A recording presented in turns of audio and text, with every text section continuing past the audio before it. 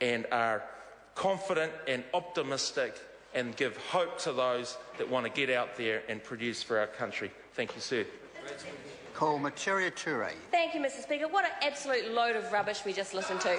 I tell you what, that was ridiculous to hear. Let's hear some facts, shall we? This government promised 170,000 new jobs. How many did they deliver? Just 8,000 new jobs. Just 8,000, and now they've promised another 170,000. So I guess we can expect another very little from this government.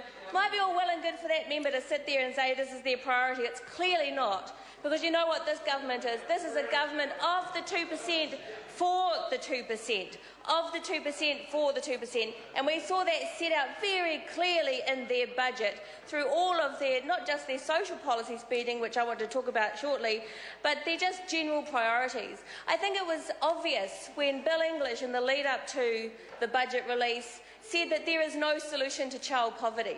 That's what he said. There's no solution to child poverty. A typical attitude of this government that if you don't bother to find out whether something exists, then you don't have to worry about trying to fix it. There's no solution to child poverty, says Bill English, and that's clearly what they believe. Because if you look at their budget, and certainly if you look at the government response the Children's Commissioner's report, it's obvious that they have no intention of either understanding the scale of the problem or of addressing it.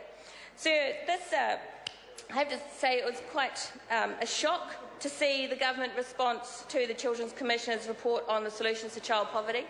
Uh, this report came out uh, late last year. It was worked on by a significant number of New Zealanders with extreme, uh, very high level expertise on issues to do, broad range of issues to do with child poverty, including tax issues, income, housing. Uh, it is a very significant report and it has uh, many, many recommendations that provide the solutions to child poverty. But what do we have? A thin, meagre little response from the so-called um, ministerial committee on poverty that was set up um, in government, who've done virtually nothing, a tiny little meagre report that provides no real solutions. Because you know what? This, the, the Children's Commissioner's report, what that said was, government, you are failing our kids. Government, you are not doing enough to make sure that our kids are protected from the worst ravages of poverty. And that's why we have a quarter of a million children living in severe poverty. So, government, here's some solutions that you can take on board to fix the problem. What does this report say? This, the, the response from government is simply sets out here's all the things that we've been doing. Government's response is, well, we did all these things. Yes, we know, and we were told very clearly, that they have failed, but there's no new solutions in this meagre, meagre response. And we saw how this was reflected in the budget. Today we had, uh, we had the, the, food and schools announcement. I'll come back to that in a moment. But what was in the budget that really gives some clear indication? I'll tell you. Uh, we had $5 million a year has been set aside to fund charter schools Charter Schools Minister, that will funnel the poorest and most vulnerable kids into schools where there are unqualified teachers who can teach any kind of curriculum, any kind of crazy curriculum that they want, and subject to those kids to that experiment. $5 million a year, that's a lot of money. What do the kids who need food in schools, what do the kids who go to school hungry get from this government? Do you think they get $5 million a year? Do you think they get $4 million a year?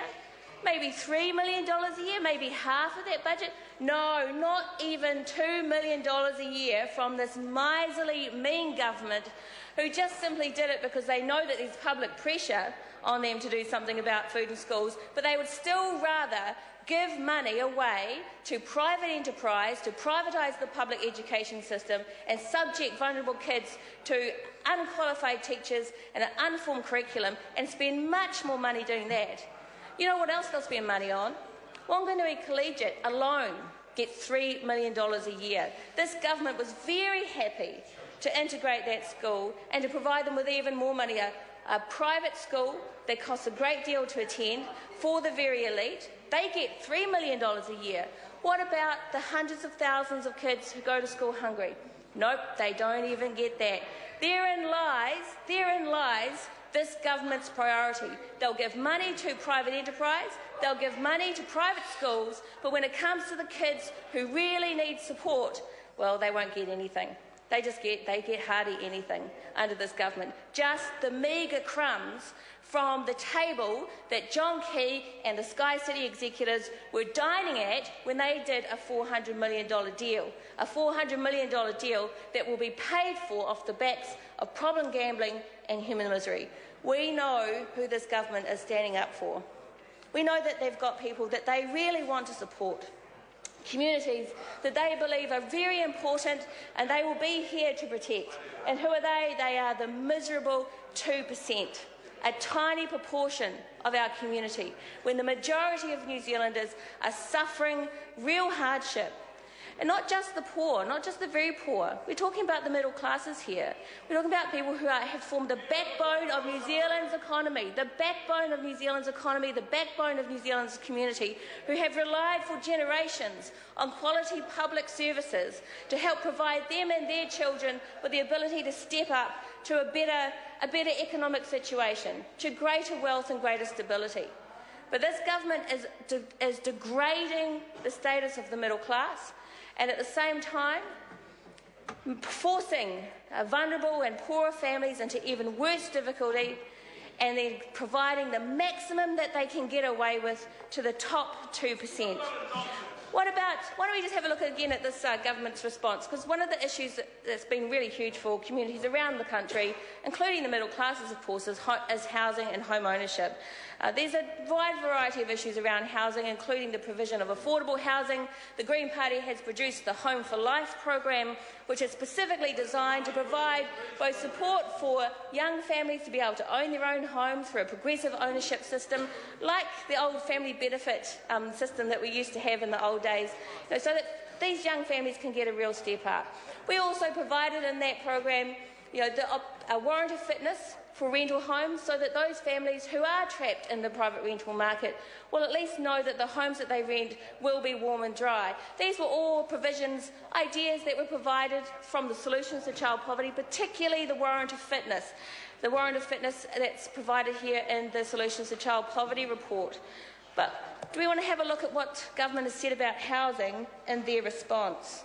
Government has written, it's worthwhile noting the Solutions to Child Poverty report from the Children's Commissioner comes with a 73 page working paper of analysis, evidence, uh, ideas, and recommendations. 73 pages sit behind, on housing alone, sit behind this report. Do you want to know what government's response is?